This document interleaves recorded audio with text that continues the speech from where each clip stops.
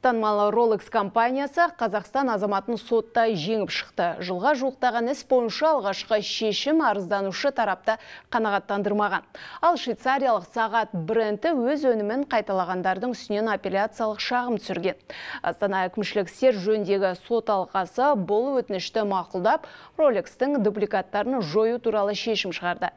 Естеріңізге салайын, Қазақстан азаматы танымал брендке ұқсас өнімді саудаға шығарды деп айыпталған.